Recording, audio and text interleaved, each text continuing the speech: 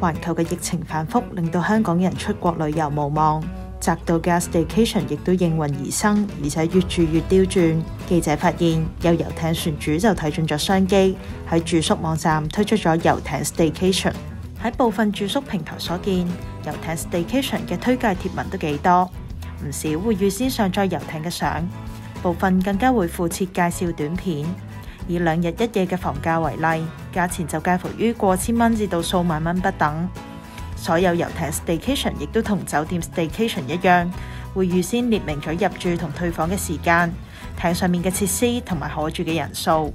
而遊艇大多停泊喺香港仔深灣、大嶼山愉景灣、屯門黃金海岸以及西貢對出海域。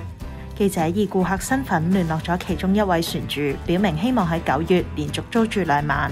船主隨即安排咗三板接送記者登上停泊喺深灣嘅遊艇參觀。據記者現場所見，遊艇內籠頗為新淨，除咗有一間主人房以及兩間客房之外，仲有兩個套廁，同時亦都設有雪櫃等基本嘅設施。暑假多唔多人租啊？好多。聽日都都租，聽日後日星期日都租。呢個兩三個月嘅暑假咯，香港人。誒，係有人揸出海，定係停喺碼頭？唔係㗎，係揸出海㗎。嗯嗯嗯。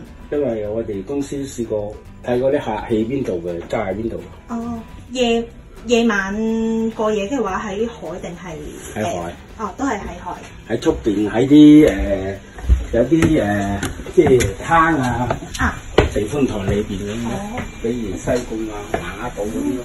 不過海事處發言人就指出，根據商船規例規定，遊樂船隻嘅船東或者承租人只可以使用船隻作為純遊樂用途。